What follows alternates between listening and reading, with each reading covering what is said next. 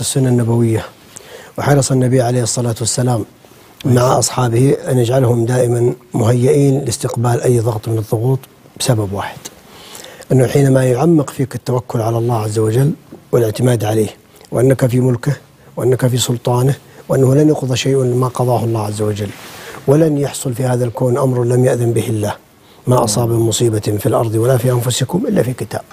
من قبل أن نبرأه.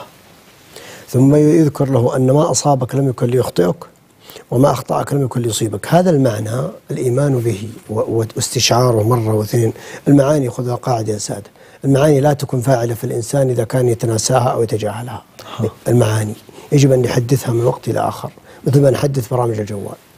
البرنامج الذي لا تحدثه ما عاد يصير فعال في الجوال. تستخدمه قال لك أعمل تحديث بعدين ممكن تستخدم التطبيق. إذا لم نحدث هذه المعاني وهذا معناته أن الكلمات والمواعظ والمعلومات التي نسمعها حتى لو كانت قديمة إذا كانت من باب غرس المعاني فهي نحتاج تكرارها. هذه من النوع اللي يحتاج تكراره. النفس الآن في واحد يقول والله يا أخي تنفست كثير خلينا نتوقف اليوم بلاش ما في. هذا تحتاجه باستمرار. ويجب أن تكرره كثيرا. الطعام والشراب كذلك. المعاني هذا المعنى. أن يعني بعبارة لو أخذنا مثال دكتور على مو- مثلا ما أصابك لم يكن ليخطئك. نحن نتعامل مع الأزمة على حالين. لما تكون في المستقبل متوقعة ولما تكون حصلت. لما تكون قد حصلت دخلت دائرة القدر بالنسبة لك. هي في القدر عند الله من أول. بالنسبة لك أنت دخل تتعاملها بقانون القدر. أنها حدثت لا يمكن تغييرها.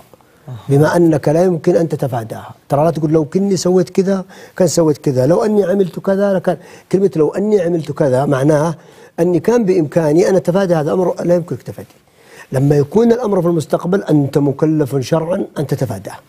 يا سلام. وأن تتجنبه. وهذا فعل الرسل.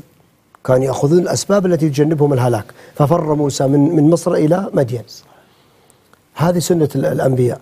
وه- وبهذه الطريقة آه، هاجر النبي من من مكة إلى المدينة حينما أرادوا قتله واغتياله عليه الصلاة والسلام. وفر الصحابة وهاجروا إلى الحبشة فرارا بدينهم. أخذ الأسباب والحيطة لتفادي الأزمات واجب شرعي مع التوكل والتوكل يعني تدعو الله أن يبارك في السبب. إذا وقع الأمر إذا وقع الأمر ما تأتي تقول تبدأ ترجع تراجع الأسباب ل ل لا هنا تقول قدر الله ما شاء فعل. تدرس الأسباب لشيء واحد. حتى تتفاداها لا تتكرر المأساة مرة أخرى. سلام. ولكن لا تدرس الأسباب لتعول عليها فيما حصل لك. خاصة عزو الأسباب إلى النفس. يقول بعض الناس يا أخي أنا ضيعت عمري. لو أني فعلت مثل فلان وفلان كان وضعي كذا كذا. صدقني لو فعلت مثل فلان وفلان ستصل للنقطة اللي أنت فيها الآن.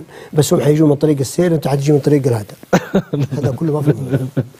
صحيح. بس هذا كله. صحيح. هذا مؤشر. هو الاستعداد وتوقع نعم ما يصيبني فهو بقدر الله لن يخطئني ولكنه وين يصيبني؟ أليس بقدره؟ فهو أيضا في دائرة اللطف والعناية والرعاية. اللطف وشو أنا ما جاء الوقت والله. لا لا لا. اللطف ما هو؟ اللطف يا سادة شيء خفي خارج الحسابات. خارج الحسابات. يتسلل بين الشقوق فيوصل رحمة الله إلى من أراد الله أن يصيبه برحمته فإن الله يعني ما ينزل الله من رحمة فلا ممسك لها. طيب النوع الثاني أو المؤشر الثاني بعد أن تأتي هناك مؤشر على مستوى الشعور على مستوى النفس. تضخيم المسألة كما ذكرت قبل قليل يجعل من الحب قب.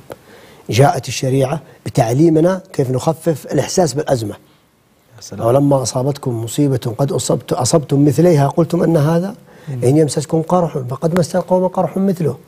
في كلا الآيتين يبين لك أن ترى ويأتي خباب إلى النبي قال والله لقد كان يؤتى بمن قبلكم فيشق بالمنشار من شار نصفين وإلى آخره يبين له حجم المأساة الكبرى اللي كانت تحصل لمن قبلكم نعم. وما ثناهم ذلك عن دينهم. فيخف الإحساس بالمسألة هذه المواساة التي تطلب من المسلم للمسلم.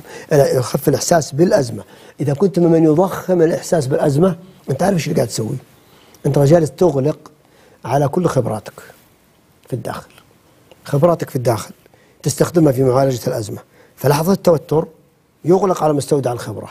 فتعالج الأزمة تقابل الأزمة وخبراتك برا مفصولة بعيدة عنك. يعني رو- إذا كان عمرك 40 سنة يفترض أن خبراتك 40 سنة. لما تكون متوتر بسبب تضخيم الأزمة تحجب عنك الخبرات. فتباشر الأزمة بخبرة 10 سنوات 15 سنة. ما ما تباشر. وتتصرف تصرفات يعني أبسط واحد يقول لك إيش اللي قاعد تسويه؟ لأنه هو خبراته متاحة مجرد ما يذهب وخارج الدائرة في هذا اللحظة. مجرد ما يذهب عنك ال- الاختناق هذا ويذهب عنك التوتر تقول يا أخي لو سويت كذا لو قلت كذا يعني تجد الحلول سهله وبسيطة بس حجبت عنك. هذا مؤشر على مستوى الشعور أيضا. المؤشر الآخر على مستوى اللفظ. أها. الذين إذا أصابتهم مصيبة قالوا إنا لله وإنا إليه راجعون. ولما جاء المرأة قالت اتقي الله واصبري. قالت إليك عني فإنك لم تصب بمثل مصيبتي. فلما أخبرها أن الرسول قالت إني أصبر. واحتسب قال إن الصبر إنما الصبر عند الصبر بكماله. ها عند الصدمة الأولى معنى ذلك أن هناك قول يقال في مثل هذه اللحظة. فصبر جميل والله المستعان على ما تصفون. مجرد ما سمع كلام هناك استجابة لفظية استجابة شعورية واستجابة إجرائية هي التي يفكر كما ذكر قبل قليل شو الطرق شو الوسائل التي تخفف عني هذه الأزمة ويمكنني أن أن أصل معها إلى نهاية جيده. صحيح يعني بالألفاظ وبالمشاعر وبالسلوكيات تستطيع أن تميز بين شخص يتعامل بشكل إيجابي مع الضغوط وآخر يتعامل بشكل آه، سلبي مع مع الضغوط ها دكتور محمد إن سمحتم لي عليه. نخ- خلينا هل الحلقة فيها ضغوط ولا شيء؟ خلينا نخرج هل أنا. مسوي معاك ضغوط إي ولا حاجة؟ والله أنا عصير أنت بس أنا بس خلينا نخرج كذا شوية عن عن الضغوط اللي إحنا فيها. الضغوط اللي إحنا فيها طيب. يا ريت بس كل واحد منكم يأخذ لي الكوب العصير الكاسة. كوب العصير العصير. العصير ده بس معلش. خذوني على قد عقلي كذا شوية بس امسكوا لي الكوب